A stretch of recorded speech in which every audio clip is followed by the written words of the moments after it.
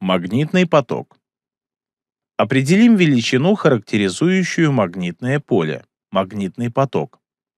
Предположим, что в однородном магнитном поле с индукцией B находится замкнутый проводящий контур площадью S, расположенный так, что между индукцией B и нормалью N, вектором перпендикулярным плоскости витка, угол альфа.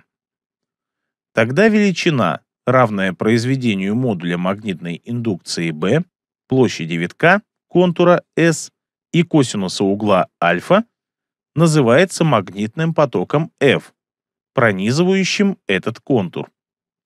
Единицей магнитного потока является Вебер, 1 Вебер. 1 Вебер – магнитный поток, созданный однородным магнитным полем с индукцией 1 Тесла через поверхность площадью 1 квадратный метр, расположенную перпендикулярно вектору магнитной индукции. Магнитный поток F характеризует число силовых линий, пронизывающих контур. Рассмотрим это на примерах. Пример первый. Два контура с одинаковой площадью находятся в разных магнитных полях. Магнитный поток, пронизывающий второй контур, больше, чем магнитный поток, пронизывающий первый контур. Пример второй. Два контура различной площади находятся в одном и том же магнитном поле с индукцией B. Магнитный поток, пронизывающий второй контур, больше, чем магнитный поток, пронизывающий первый контур. Пример третий. Два контура одинаковой площади S в одном и том же магнитном поле с индукцией B расположены так, что альфа-2 больше альфа-1. Поскольку косинус альфа-2 меньше косинус альфа-1, то магнитный поток, пронизывающий второй контур, меньше, чем магнитный поток, пронизывающий первый контур. Пример четвертый. Контур расположен так, что угол между индукцией B и нормалью n равен нулю. Так как косинус нуля равен единице, то магнитный поток в этом случае максимальный. Пример пятый. Контур расположен так, что линии индукции скользят вдоль его поверхности, то есть параллельны плоскости контура. В этом случае угол альфа равен 90 градусов.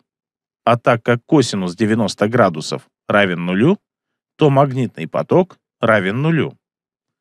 Пример шестой. Рассмотрим магнитное поле постоянного полосового магнита. Линии магнитной индукции выходят из северного полюса и входят в южный.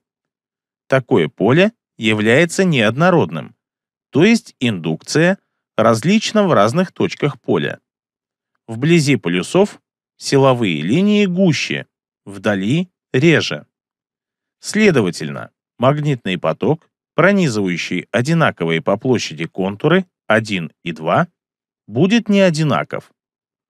Нетрудно видеть, что магнитный поток второго контура больше магнитного потока первого контура.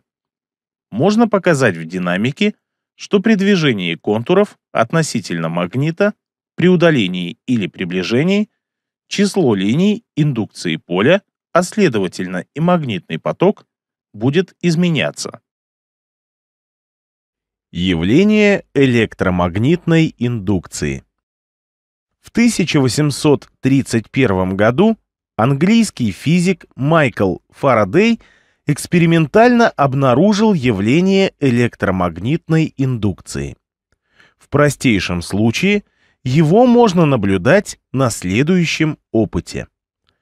Возьмем катушку с большим числом витков и соединим ее с гальванометром. Будем приближать к катушке магнит.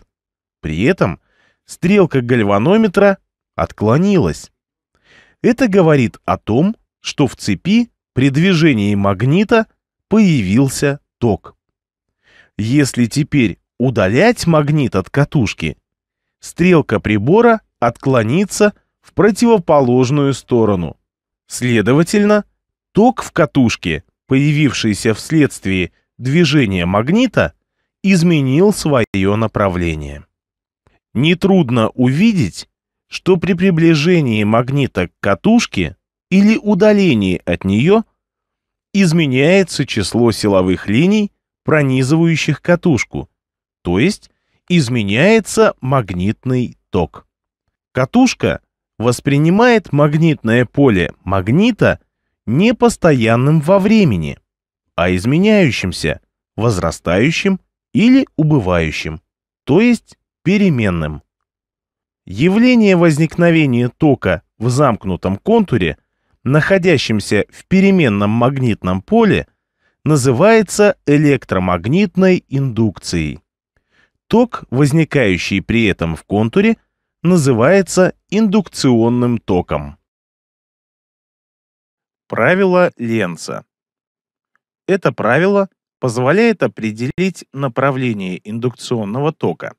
Сформулировал его русский ученый Ленц Эмилий Христианович. Чтобы выяснить смысл этого правила, обратимся к опыту. Если быстро приблизить магнит к легкому сплошному алюминиевому кольцу, подвешенному на нити, то оно заметно оттолкнется от магнита. Если же быстро удалять магнит от кольца, то можно заметить, как оно потянется вслед за магнитом, притягиваясь к нему. Также кольцо, но с разрывом, не сплошное, никак не реагирует на движение магнита. Попытаемся объяснить этот опытный факт. Если кольцо, замкнутый виток, реагирует на движение магнита, значит оно само становится магнитом. Причем при приближении магнита к кольцу северным полюсом Сторона кольца, к нему обращенная, имеет тоже северный полюс, так как в этом случае кольцо оттолкнется от магнита. Нетрудно видеть, что магнитный поток, пронизывающий кольцо, нарастает. В результате электромагнитной индукции в нем возникает индукционный ток, который своим магнитным полем препятствует нарастанию внешнего магнитного поля.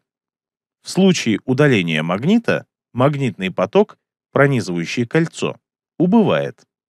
При этом в нем возникает индукционный ток, который своим магнитным полем препятствует убыванию внешнего магнитного поля. В общем случае направление индукционного тока определяется правилом Ленца. Возникающий в замкнутом контуре индукционный ток своим магнитным полем противодействует изменению магнитного потока который создает этот ток. ЭДС индукции в движущихся проводниках. Рассмотрим интересный случай возникновения ЭДС индукции. Проводящая перемычка скользит по параллельным проводам, замкнутым с одной стороны на вольтметр, с другой на лампочку. Перпендикулярно плоскости, в которой лежат провода, расположены линии индукции магнитного поля.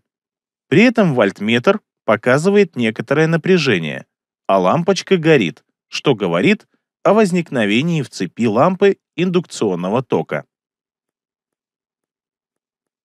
На концах проводника длиной L, движущегося в магнитном поле с индукцией B со скоростью V, возникает разность потенциалов, равная ЭДС индукции, где альфа – угол между вектором скорости и вектором магнитной индукции. Явление самоиндукции.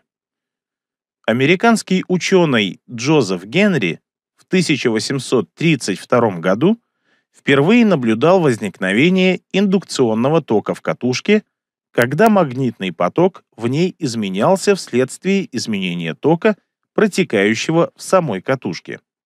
Явление получило название самоиндукции.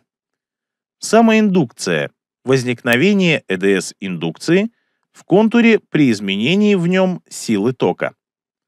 Рассмотрим цепь, состоящую из источника постоянного тока, резистора, катушки и ключа. При замыкании ключа в течение короткого промежутка времени в цепи будет нарастать ток источника, который создает в катушке нарастающее магнитное поле с индукцией. Это изменяющееся поле создает в этой же самой катушке индукционный ток, направленный таким образом, чтобы своим магнитным полем препятствовать нарастанию тока катушки. Таким образом, индукционный ток в этом случае тормозит ток источника. ЭДС самоиндукции определяется по формуле, где дельта И, деленное на дельта Т, скорость изменения тока источника в катушке. L – индуктивность катушки, измеряемая в Генри.